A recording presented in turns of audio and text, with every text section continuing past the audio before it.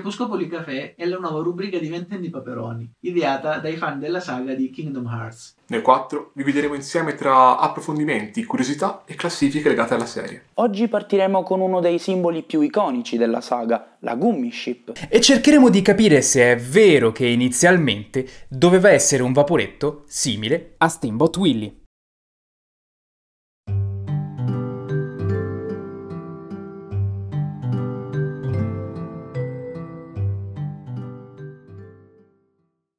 Se è la prima volta che sentite parlare di Kingdom Hearts, Crepuscopoli e amenità varie, grazie per la fiducia, ma sarete, immagino, parecchio confusi. Che cos'è questa Gummy Ship di cui parliamo oggi? Presto detto, in Kingdom Hearts il giocatore viaggia tra vari mondi, dei pianitucoli tutti separati fra di loro, che possono essere originali del gioco o ispirati a classici Disney e film Pixar. Per compiere questi viaggi ovviamente serve un mezzo di trasporto e questo mezzo è la Gummy Ship, un'astronave che usa i sorrisi come carburante e che può essere personalizzata dal giocatore. Come mai questo strano nome potreste chiedere, ma anche in questo caso è presto detto. Come ho già detto poco fa, la Gummy Ship può essere personalizzata. Infatti è un'astronave a blocchi, composta di varie parti che possono essere aggiunte o tolte a piacimento. Queste parti sono appunto i gummi, da cui il nome di Gummy Ship. La Gummy Ship appare già nel primo capitolo della serie. La usano infatti Paperino e Pippo per raggiungere la città di mezzo, un altro mondo originale come Crepuscopoli. Qui incontrano Sora, il protagonista, i tre tutti insieme partono per quella grande avventura che costituisce il primo capitolo della saga di Kingdom Hearts. La nave torna in tante altre occasioni e ci regala sequenze di gameplay piuttosto interessanti, ma di questo non parlerò io. Lascio infatti la parola a Bruno, che vi mostrerà come si guida la Gummy Ship. Ma come funziona la navetta?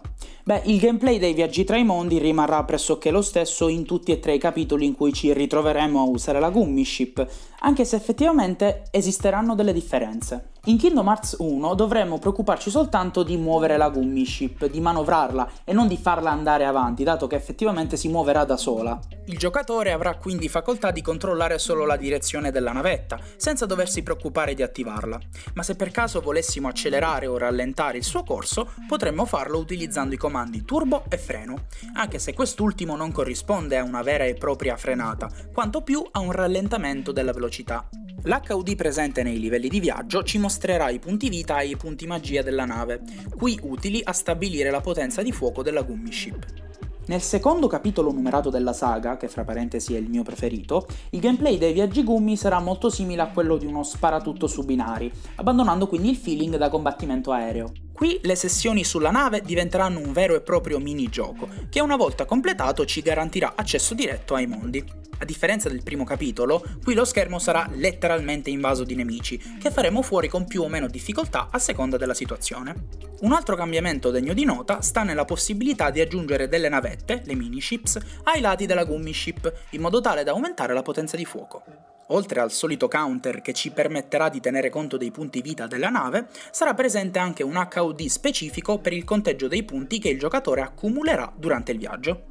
Infine, in Kingdom Hearts 3, i viaggi Gummi saranno strutturati in maniera radicalmente diversa rispetto a quanto visto finora, proponendo una struttura open world in cui il giocatore avrà pieni poteri. Stavolta saremo noi a dover scaldare i motori e sempre noi sceglieremo il percorso che più ci aggrada, facendo attenzione alle navi nemiche che saranno disseminate lungo tutto il tragitto. A differenza dei capitoli precedenti, infatti, le sessioni sulla nave non saranno necessariamente dei combattimenti, dato che, come appena detto, i nemici appariranno solo in determinate zone della mappa, facendo entrare il gameplay in modalità battaglia solo quando e se il giocatore deciderà di affrontarli. Passando alle similitudini coi capitoli precedenti, anche qui avremo il solito HUD che mostrerà al giocatore lo stato della nave, accompagnato da un utile indicatore del turbo. Un'altra componente fondamentale del gameplay della Gummy Ship sono i blocchi gummi o gummy block. I gummy block sono quanto resta delle barriere dei mondi dopo la frantumazione di queste ultime, avvenuta nel primissimo capitolo della saga, e permetteranno al giocatore di modificare a piacimento struttura e caratteristiche della propria nave esistono moltissimi tipi di blocchi gummi, tutti con la loro funzione specifica, e i modi per ottenerli cambiano in tutti e tre i titoli in cui appare la Gummy Ship, anche se il loro scopo resta sempre lo stesso, potenziare la nave. Inizialmente la Gummy Ship non doveva avere questo aspetto. Forse. Di fatto esistono diverse teorie online secondo cui la navicella di Kingdom Hearts non sarebbe dovuta essere un semplice carro che trasporta Sora, Pippo e Paperino in giro per i mondi. In base a un'immagine che abbiamo trovato online dal fandom di Kingdom Hearts e che viene ripresa da numerosi video online negli Stati Uniti, la Gummy Ship doveva avere un altro stile, quello di un vaporetto spaziale, il cui aspetto e la cui forma ricordano in maniera impressionante un altro celebre vaporetto, Steamboat Willie. È ipotizzabile pensare infatti che la prima Gummy Ship dovesse far riferimento all'illustre battello guidato da Topolino nell'omonimo cortometraggio. Inoltre dallo stesso bozzetto possiamo ipotizzare che la nave fosse anche abitabile. Anche qui dunque è ipotizzabile immaginare che negli intenti iniziali la Gummy Ship fosse un mondo giocabile, forse una vera e propria base operativa per i protagonisti del gioco. Questa bozza ci fa anche ipotizzare che eh, la Gummy Ship dovesse essere un mondo molto simile a quello della balena che incontriamo nel primo capitolo della saga. Oltretutto, secondo Kingdom Hearts Ultimania, proprio all'interno della nave Sora e compagni avrebbero dovuto affrontare il boss che troviamo nella pancia della balena, in quanto quest'ultima inizialmente sarebbe dovuta essere un nemico dei nostri eroi. Tuttavia, queste sono solo ipotesi. Non sappiamo se questa immagine è stata realizzata da uno dei lavoratori del team di Nomura. Così abbiamo pensato bene di rivolgerci direttamente alla Square Enix, in particolare alla sezione del Nord America, poiché presenta un form per l'invio di richieste di informazioni. Ciò che abbiamo chiesto è se effettivamente la Gummy Ship nei piani iniziali fosse un mondo giocabile e avesse dei forti riferimenti con Steamboat Willie. Inoltre abbiamo chiesto se l'immagine trovata online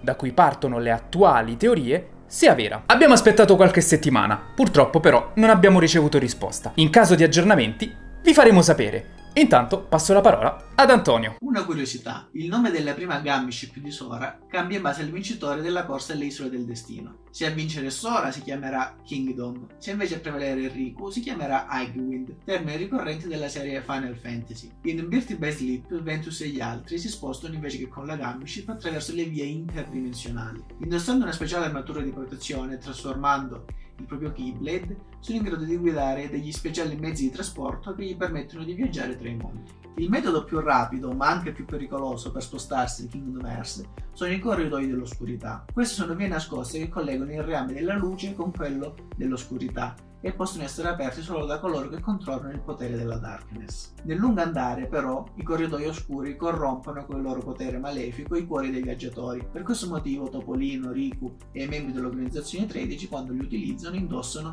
i particolari soprabiti neri. Controparte positiva dei corridoi oscuri sono i varchi o le vie di mezzo. Queste possono essere aperte dai portatori del Keyblade tramite degli oggetti speciali oppure tramite il solo Keyblade se è sufficientemente esperto ed è il modo con il quale Sora nel terzo titolo riesce a raggiungere il mondo di Hercules. La Gummy Ship è il mezzo di trasporto preferito di Sora per viaggiare negli straordinari mondi della saga. Un po' quello che faremo noi con Crepuscopoli Café, esplorando un pezzetto di Kingdom Hearts alla volta. Le curiosità oggi finiscono qui, ma l'appuntamento è il prossimo video di Crepuscopoli Café. May your heart be your guiding key.